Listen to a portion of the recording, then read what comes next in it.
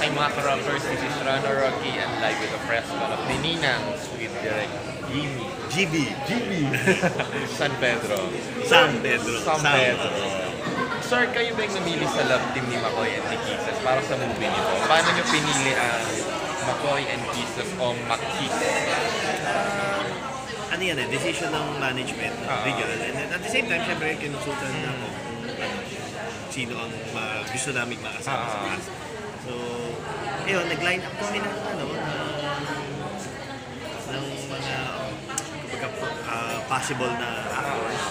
And then, lumabas talaga si Makoy at si, Si Kisses. Ano yung qualities ng dalawa ba? Sila yung lumabas o yung nag-top notch dun sa mga lineups Ano niya? sila eh, ah, makikita mo may chemistry talaga eh. May chemistry yung dalawa.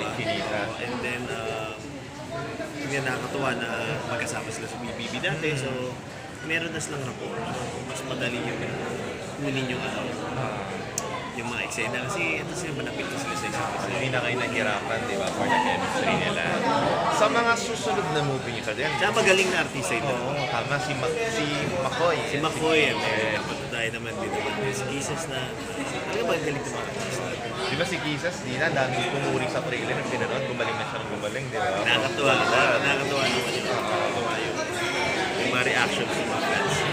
Sobrang at nag-trending sir ah, yung trailer. Nakakatawa eh, natuwa din ako ang kuwela, ibang iba sa mga dati.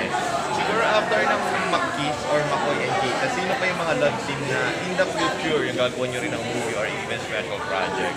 Ah, sa ngayon, wala pang ano eh, wala pang kami pinag-usapan. Sana si Angel at si Kelvin. Oo, si Angel, Hindi ako ko isa lang. rin magaling yung dalawa. Sila naman. Magkaroon ng sarili na pelikula. Why not? Ah, pero siguro sa mga susunod pa, sino bang ano nyo para kasambahan mo niya ng love team? Ah, ako naman, ano, ah, minsan, ano ako eh, uh, nag-iintay lang ng timing. Ah, maraming, maraming love teams na okay. Ah, pero kung sino yung dumating at mga, well, perfect timing. Kung sino yung dumating sa, sa akin for project, I'm more than willing to and this is the perfect time for McCoy and Kisses, di ba? Sobrang natuwa kami for McKiss. Tsaka maganda kasi first time. First time. First ever. Ayun, so siguro sir, ah, ano na lang, ah, invite na lang po natin sila sa movie.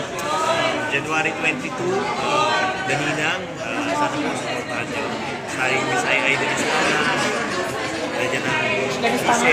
Makoy, Angel, Guardian, Kelvin Miranda, sila Lou Veloso, sila Kiray, Joey Marquez of course, at marami pang iba. Under Regal Films. Thank you sir, congratulations.